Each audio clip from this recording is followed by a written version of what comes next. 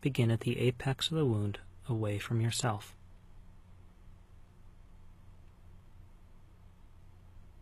Take a nice even bite on either side of the tissue.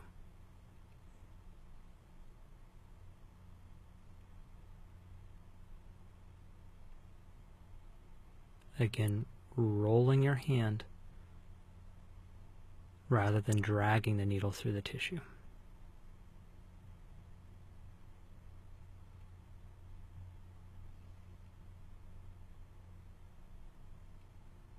Tie your knot.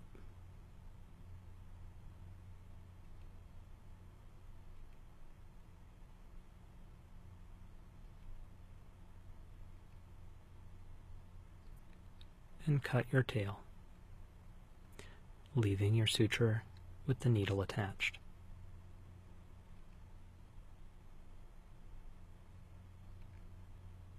In this example,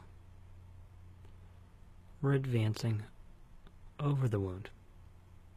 Therefore, come down and take another bite directly across and perpendicular to the wound.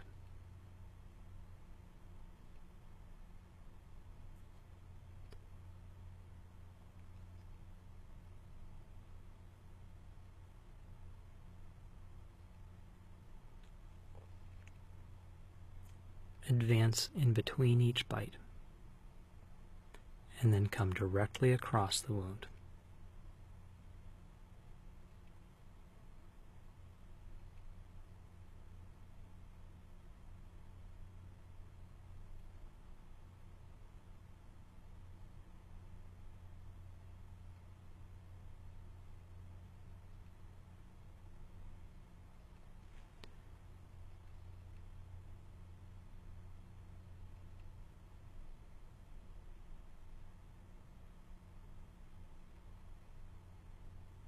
Each time you advance, make sure to keep your bites on either side of the wound equal and your distances between each bite equal so that the suture appears to be parallel